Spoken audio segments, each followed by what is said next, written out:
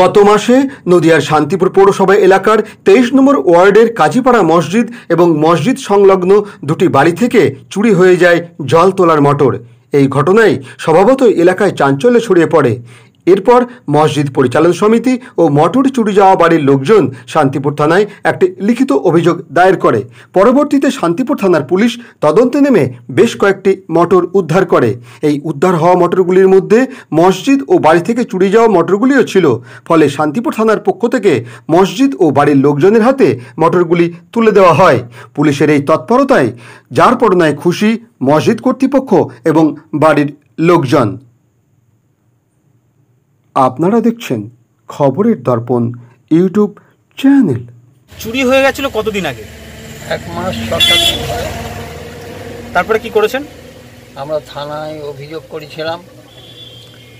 থানা তদন্ত করে মোটর উদ্ধার করেছে। আমাদের খবর দিয়েছিল থানা থেকে।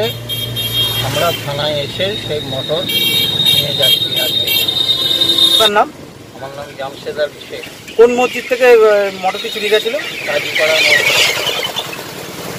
যদি এখনও আমাদের খবরের দর্পণ চ্যানেলটি সাবস্ক্রাইব না করে থাকেন তাহলে এখনই সাবস্ক্রাইব করুন সঙ্গে বেল বাটনটি ক্লিক করুন আর পেয়ে যান সব খবরের দ্রুত ভিডিও আপডেট।